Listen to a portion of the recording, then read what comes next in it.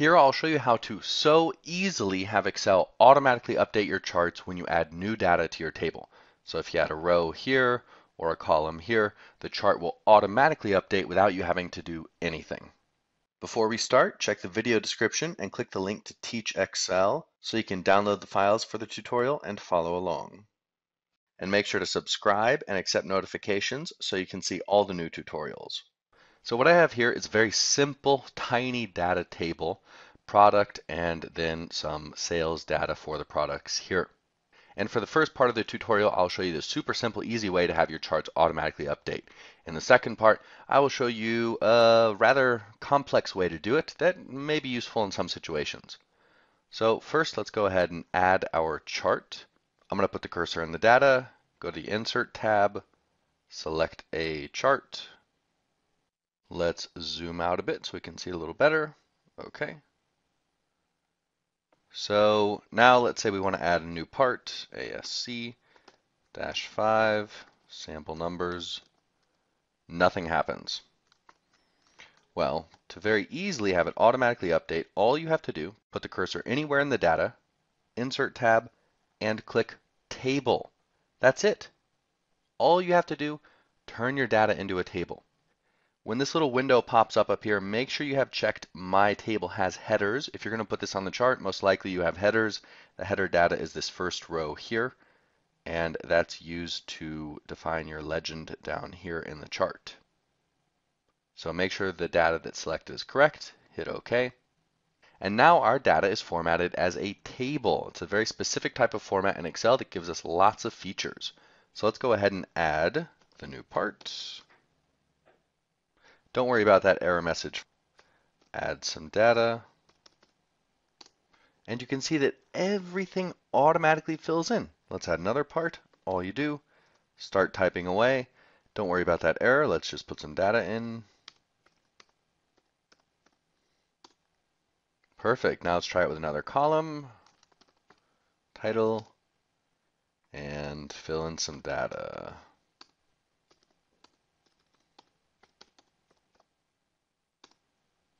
It's as easy as that. Takes almost no time. All you have to do, convert your data into a table format for Excel. So you select the data, go to the Insert tab, click the Table button. That's it. Or you can see the keyboard shortcut there, Control T. Now let's say that this messes up your formatting. You don't want these stupid little rows here.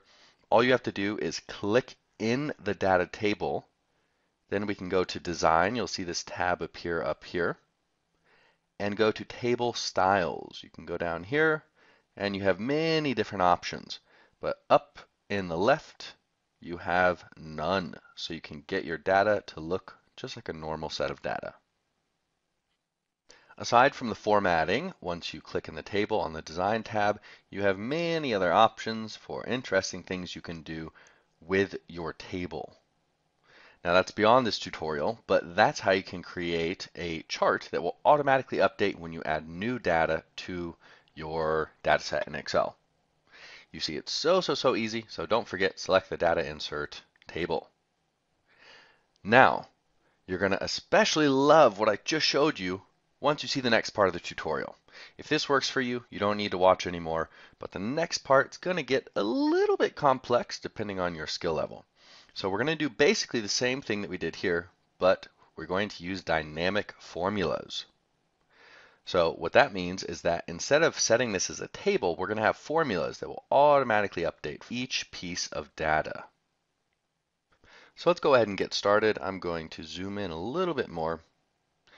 What we have to do here is we have to create dynamic named ranges. That means a named range has a formula that will automatically resize to fit the data in it.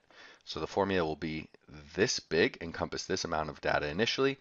Once you add a new value down here, the formula will be that big. It will encompass this set of data. To do that, we use the offset function. Now, what I'm going to do, which is very good practice when building named ranges, is build the formula in the worksheet first where you can see it. Equals offset reference. Now here, you don't want to select the header of your data. You just want to select the first row of the data. And we're going to need to select the part numbers as well as the raw data here. So select this. And for every single range reference, this is so, so, so, so important. It's going to save you a ton of headaches. You want to make them absolute. If you don't do that, it will totally get messed up in your named ranges. So that's the reference. That's where the offset function will start.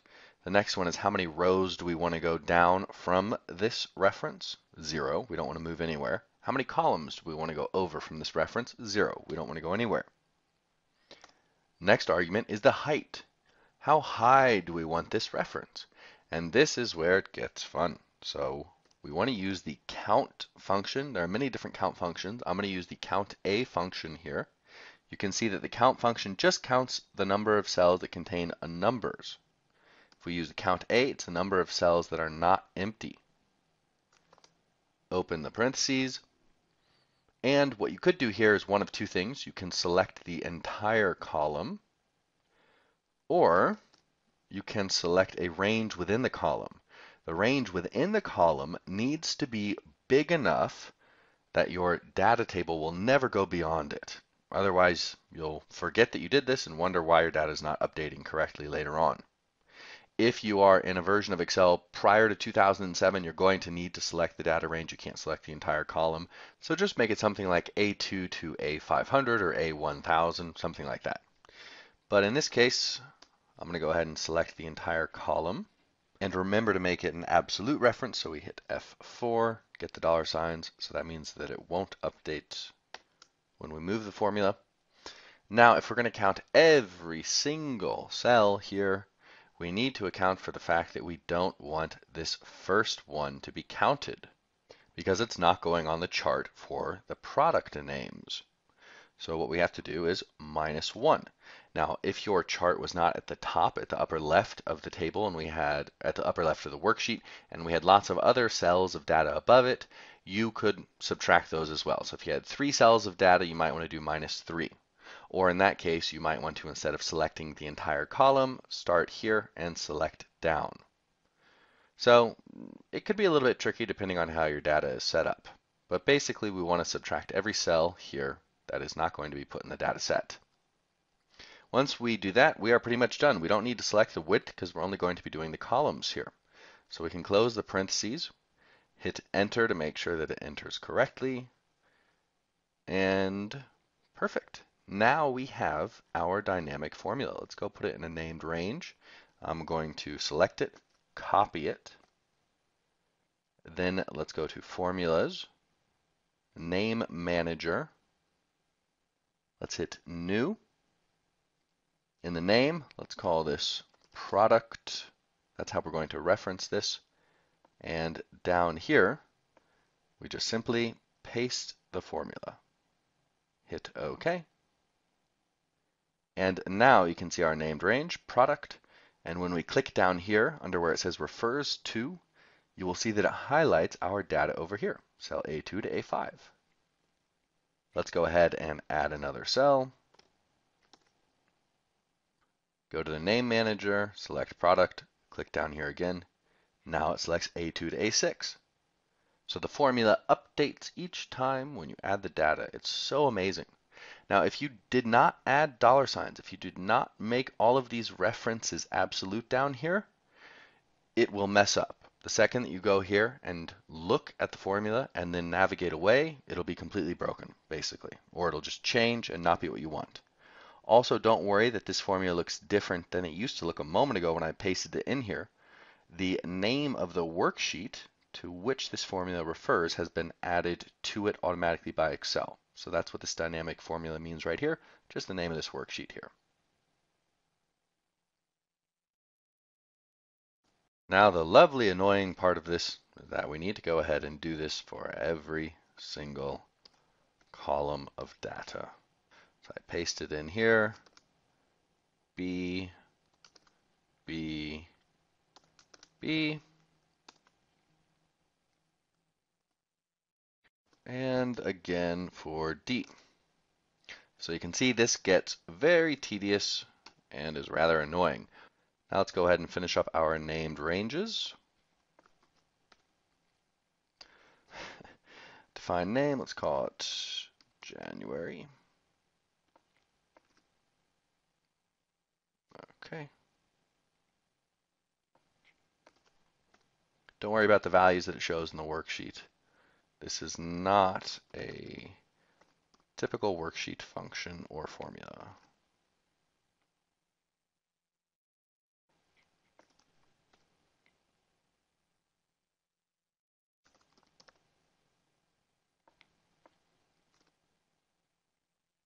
Okay, we've got all of these in here. Let's not delete them just yet in case I made any errors. And let's go over here. The easiest way to do this now is to first insert the table. So insert or insert the chart. Insert the chart. Let's zoom out a bit so it will fit on there. Move it over. You can see now that nothing will update.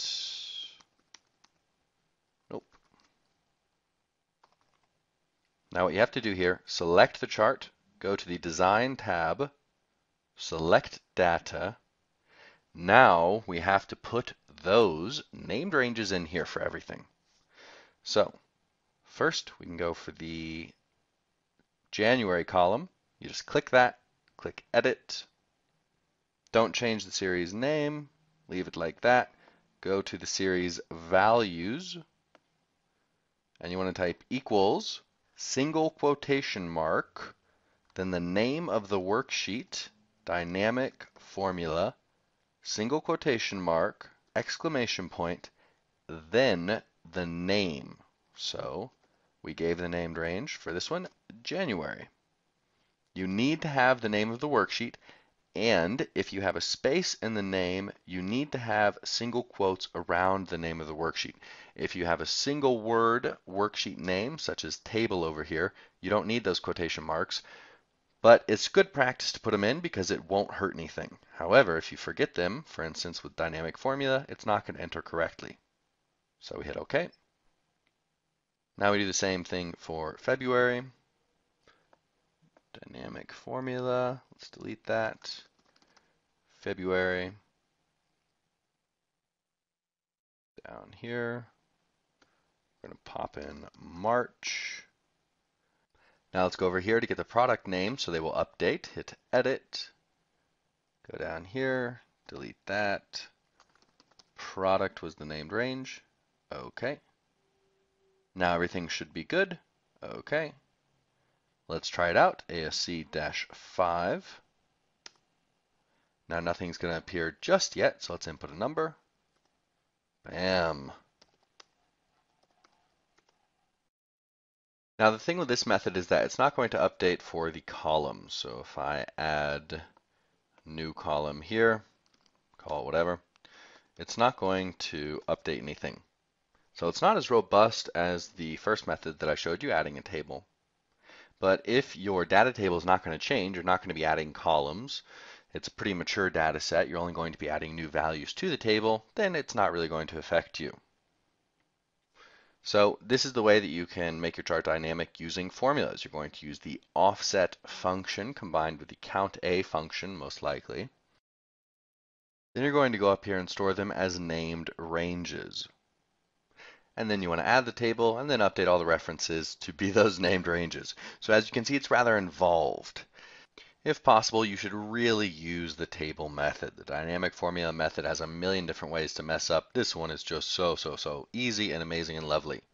Add your chart, select the data, click anywhere in it, go to insert, hit table, wham bam, done. So that's how you can quickly and easily automatically update chart data in Excel. I hope you liked the tutorial. If it was helpful, don't forget to give it a thumbs up and make sure to subscribe and accept notifications so you can see all the new tutorials.